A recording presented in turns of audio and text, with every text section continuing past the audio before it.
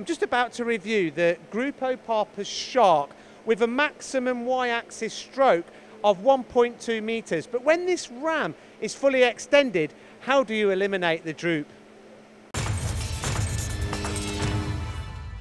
Bob, great to be here with you today at CW Fletcher in Sheffield to look at this absolutely beautiful machine tool from Gruppo Parpas, the Shark.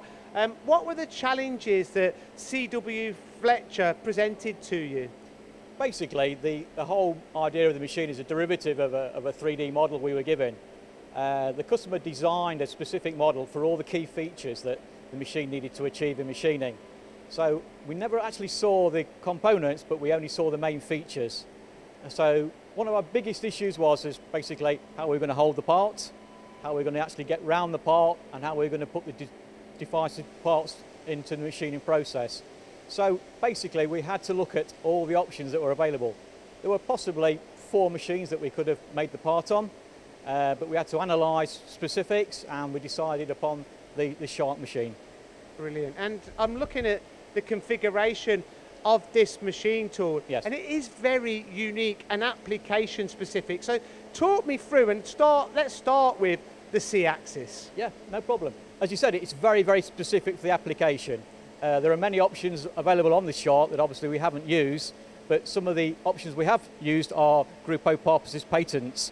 Uh, so the idea of this, the C-axis itself is a very high positioning, high resolution encoder. And that is the crux of the business for moving the parts, for location of hole positions. And it's a very, very accurate part of their business. So it was crucial that we incorporated that design into the machine in the initial process. Obviously, we had to also bear in mind that during the machining process, we had to provide a head where we can get it inverted, so obviously it's machined from an under, underface. And that was our second concept that we had to come up with. And we've decided on, on the head, you can actually see now the, the CUB head. So, so with, with, with the C-axis, you, you say very accurate. Yes. Um, a lot of the work that they do is ring work, and the It is. relationships between some of the features are so Finite, so tied yes, up. it is. What is the actual accuracy of the C-axis? The C-axis itself, it's actually controlled by a Heidenhain encoder, and in the, in, the, in the business, it's one of the most accurate units there is. It's built into the, uh, into the C-axis unit that's produced by Gruppo Parpas, and it actually has an accuracy of one arc second over one metre. Wow. So it's some, it's some positioning. Wow. And, and the swing of the, what's the, the maximum diameter of component that can be presented onto the bed? The maximum component is around about 1600 millimetres, but the actual y-axis movement is, is 1200 millimetres. So that's something else we also have to think about when we're positioning a part.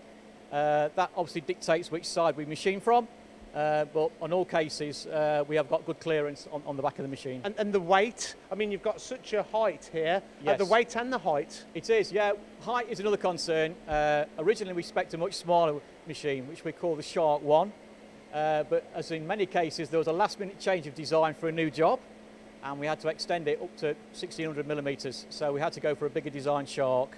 So that's a, that's a hell of a uh, large height component. and, the, yes. and the weight, sorry, uh, Bob. The weight's uh, 3,500 kilograms is the maximum weight that we can actually index. So there's a lot, lot of weight that, that this machine tool can take. Now, you mentioned um, the, the 1.2 meters in, in the y-axis with the RAM design. Yes. Do you, do you experience any type of droop with this kind of configuration? By nature of the bed mill design, as people like commonly call it, so we don't like to call it with the shark, we're, we're, we're completely different uh, ethos to that.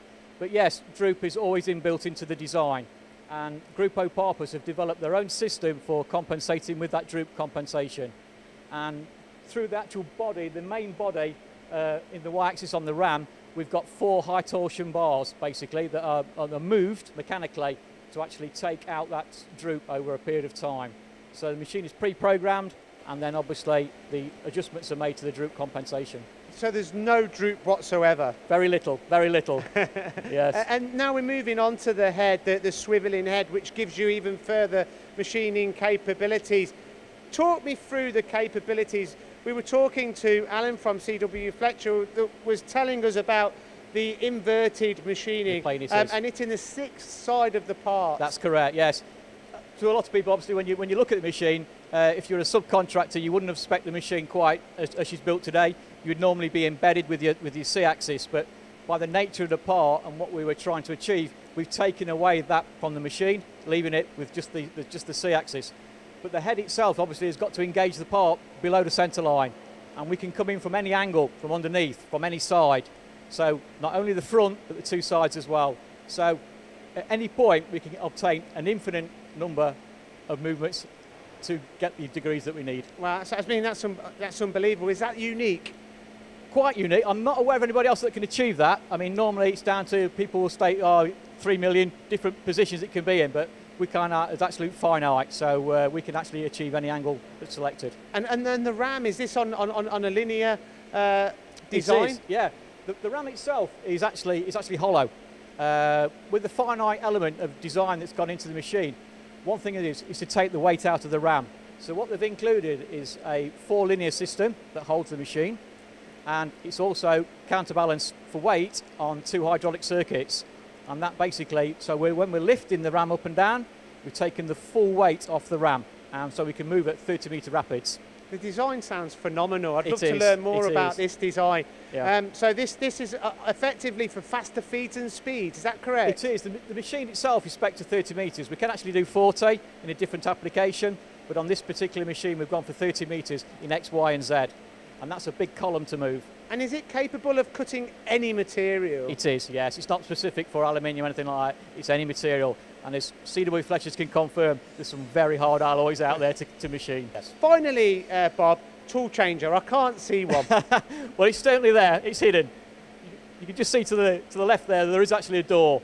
The, the tool changer, the ATC unit, is actually mounted to the column. And that was another specific request of the customer. Uh, the options are you could have a tool changer either side of the machine, or we could attach one to the column. Of course, that then gives us another design issue. We've actually got to drag that weight as well. So that's all in the design of the, the linear system and the rack and pinion, which is a twin motor system. We have no deflection in there and we have no backlash. But the ATC itself, basically the guard opens and the arm comes out and we change the head. We've got 80 tools in there and we can change at any point without moving across the part. Obviously for accuracies, it's sometimes better to keep it in one place than go, go down the machine, do a tool change and then come back. So that was the customer's preference and obviously it's quicker. Absolutely fantastic and programmed by the Heidenhain control. Uh, control. In your opinion, Bob, um, from having a machine tool like this, does it give you that advantage when trying to win work in, in the aerospace industry, the defence industry, space yeah. exploration industry? Is this the machine tool that can give you that, that, that edge? It certainly is, and Gruppo Parpas is the company that can give you that edge as well. Yeah, they say there's a, there's a price tag for everything, and uh, but if you can justify where that money's spent and you can show people in the quality of what can be done, they're, they're a great machine.